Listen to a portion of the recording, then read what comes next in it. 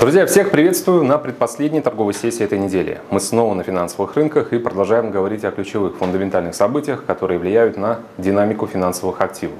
Не забывайте подписываться на наш канал AMarkets, оставляйте ваши вопросы в секции с комментариями, не забывайте ставить э, лайки. Также в описании к этому ролику вы сможете найти ссылку на наш официальный телеграм-канал AMarkets, где мы на ежедневной основе публикуем огромное количество аналитического контента, в том числе и конкретные торговые рекомендации. Ну что ж, теперь к рынкам. Сегодня на повестке экономического календаря несколько отчетов, на которые, в принципе, стоит обратить внимание. Это выступление Кристин Лагарта в 14.00 по московскому времени. Если евро остается в вашем торговом арсенале, друзья, если вы спекулируете европейской валютой, то обязательно послушайте ее, точно а, будут заявление, комментарий касательно перспектив экономики валютного блока с учетом последнего прогноза по евро, от Еврокомиссии, с учетом ситуации с э, ковидом. Но э, я ранее давал э, сделку по евро-доллару, шорт спекулятивный с целями 1 18 мы эту цель сделали. Поэтому новых сделок пока что не будет. Лучше понаблюдать за развитием событий. Дальше, как риск будет реагировать на то, что сейчас происходит с э, долларом. И только после этого, когда мы разберемся, может быть уже начало следующей недели, а, посмотрим на евро-доллар с точки зрения новых э, рекомендаций. Сейчас в целом, если говорить крупными мазками, довольно интересная ситуация. Я снова повторяю, что интересность этой ситуации заключается в том, что у нас параллельно растет золото, индекс американского доллара – растут э, стоимости облигаций, значит доходность идет э, вниз. Американский фондовый рынок на хаях. И это очень странно, друзья. Кто-то из этих э, инструментов, какой-то из этих активов точно должен сойти с дистанции. Вот когда это произойдет, я не знаю, и кто из них окажется первым на пути возвращения к нормальности, тоже не знаю. Но могу предположить, что все-таки мы э, продолжим и дальше работать с восходящей динамикой по американскому фондовому рынку, на котором мы неплохо, собственно, зарабатываем. И сегодня, как вы понимаете, может быть, э, уже смотрели на конкретные ценовые уровни, у меня будет возможность в очередной раз констатировать исторический максимум по S&P и по NASDAQ. Индекс доллара 92.72 в моменте. Далеко ли мы ушли после последних протоколов? Я бы не сказал, что сильно. Э, в целом, э, протоколы, которые э, вышли, что они нам показали? Во-первых, во-вторых и в-третьих, ничего нового. То, что экономика далека от целей, которые важны для американского регулятора, но при этом прогресс очевиден. Это повторили все голосующие члены американского регулятора. Также они отметили, что условия для потенциального изменения денежно-кредитной политики могут быть достигнуты и сложиться ранее. Э, в сухом остатке как бы ФРС э, готов э, изменить денежно-кредитную политику, сократить программу количественного смягчения когда-то там в перспективе ближайшего или не совсем ближайшего времени. Но мы прекрасно и до этого знали, что политика американского регулятора не будет стимулирующей вечно. Здесь только вопрос в горизонтах вот, изменения денежно-кредитной политики и монетарного курса. Э, напоминаю, друзья, то, что я склонен э, предполагать, что изменения пойдут только лишь в 2022 году. Поэтому буду держать, опять же, оборону э, вместе с теми, кто ставит на снижение курса американского доллара, потому что до, на мой взгляд, 2022 года Эм, даже программа количественного смягчение не будет э, а, скорректировано. А поэтому я предпочитаю не поддаваться на вот этот ложный э, и непонятный мне с точки зрения такого обоснованного фундаментального фона позитив тех, кто ставит на укрепление американской валюты, и придерживаться собственного, своего устоявшегося взгляда на то, что пока что нет условий для восстановления долгосрочного восстановления американского э, доллара. Десятилетний трежери с 1,30 0,22% э, это минимальное значение уже, по-моему, с конца января, ну, с февраля точно.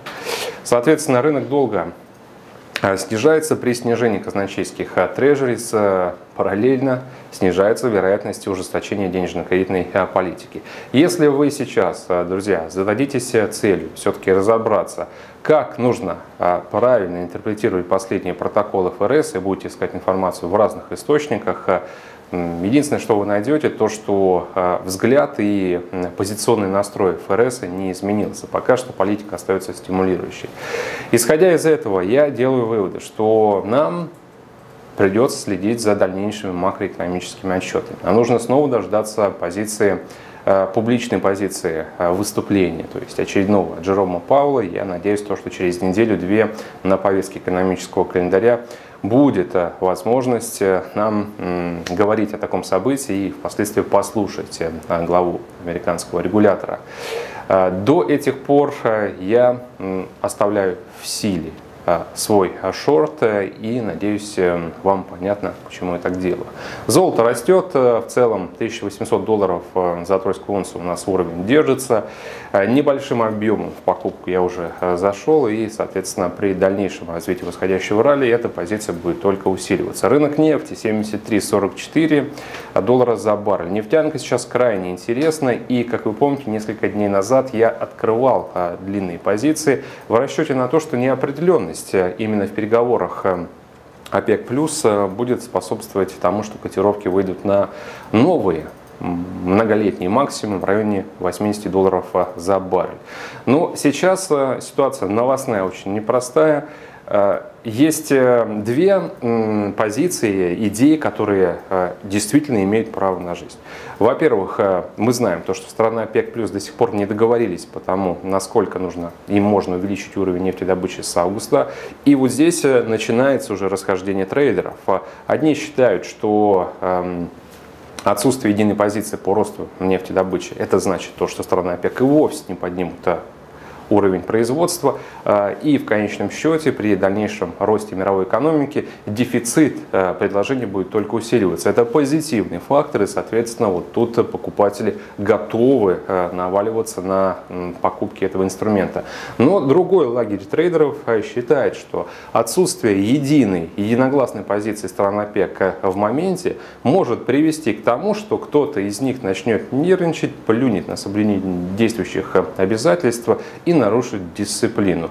И это, в конце концов, приведет к развалу вообще объединения энергетического пакта ОПЕК+, и даст возможность всем тем, кто раньше был вынужденно сдержан в объемах нефтедобычи, загрузить по полной весь имеющийся производственный потенциал и э, добавить на рынок больше 5 миллионов баррелей в сутки. Я напоминаю, друзья, то, что в 2020 году, когда началась э, паника из-за ковида, страны ОПЕК плюс э, дружно взяли и снизили объем нефтедобычи на 9,7 миллиона. С тех пор э, они подняли планку последовательно поэтапно на 4 миллиона. То есть общее сокращение – Э, добычи сейчас э, составляет 5 с э, небольшим. И вот эти потенциальные объемы, они могут вернуться на рынок.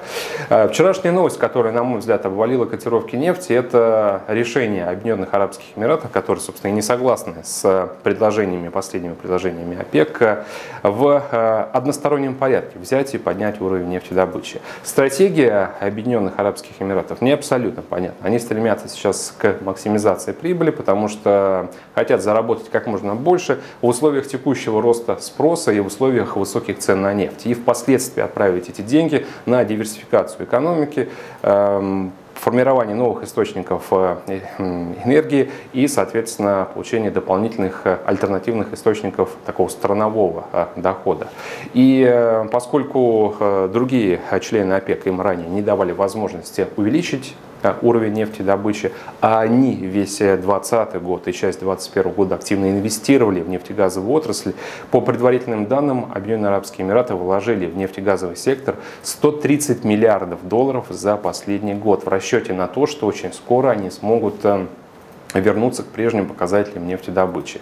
И все это время, пока у них были связаны руки, они ждали вот этого официального разрешения, чтобы поднять планку. И этого разрешения они не получили, поэтому выступили против а, последних договоренностей а, со стороны страны ОПЕК, плюс и решили уже действовать э, в единоличном а, ключе. Я думаю, что в конце концов страны ОПЕК, другие участники энергетического пакта убедят Объединенные Арабские Эмираты не не эм, принимать таких необдуманных решений, потому что даже в моменте мы видим то, что цены на нефть просели на 5%. И в конечном счете в, эм, как бы, в проигравших будут все э, стороны. Поэтому я считаю, что в ближайшие дни порядок э, в рамках стран ОПЕК будет восстановлен и цены э, смогут вернуться к прежнему восходящему тренду.